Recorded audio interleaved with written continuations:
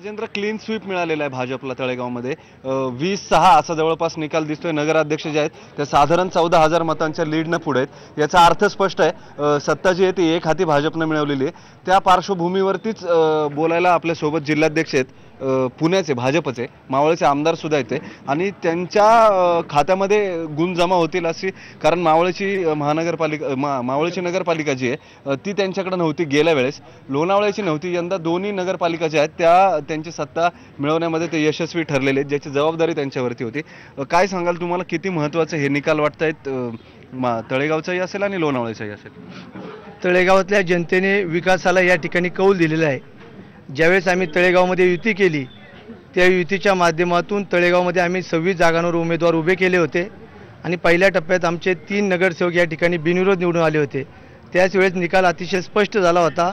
या ठिकाणच्या मनमाई मनमानीच्या विरोधात सर्वांनी एकत्र येऊन विकासाच्या मुद्द्यावर ही निवडणूक राज्याच्या मुख्यमंत्री महोदयांच्या आशीर्वादाने आम्ही लढलो.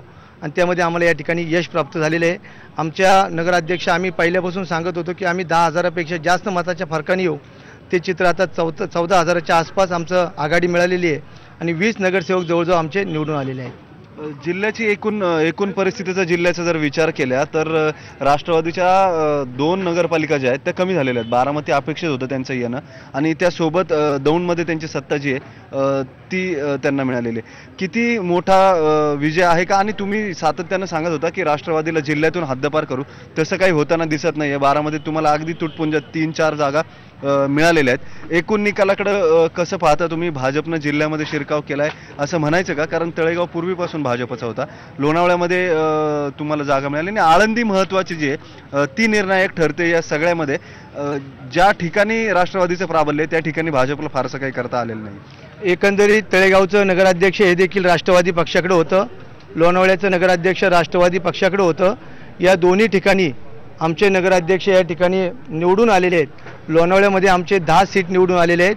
नगराध्यक्ष बी मोठ्या फरकाने आघाडीवर आहे. तळेगावमध्ये मागच्या वेळेस आमची आठच सीटं निवडून आलेली होती.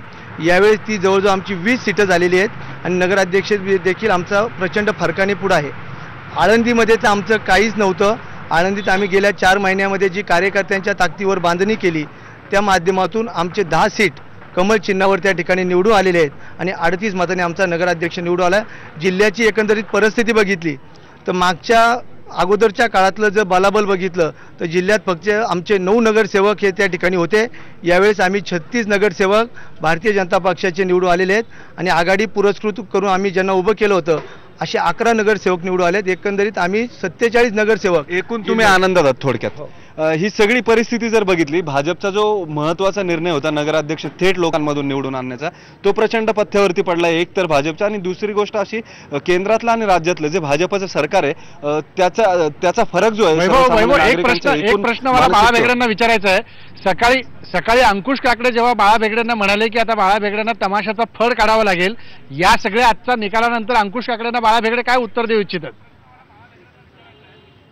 मी थेट बाळा भेगडेंना हा प्रश्न विचारतो. सकाळी अंकुश काकडेंनी तुम्हाला प्रत्युत्तर दिलं होतं की तुम्हालाच तमाशाचा फळ काढावा लागेल आणि त्यामध्ये नाचावं लागेल. आता या तीन न- या ज्या नगरपालिका आहेत त्या निवडून आल्यानंतर तुमचं काय प्रत्युत्तर आहे?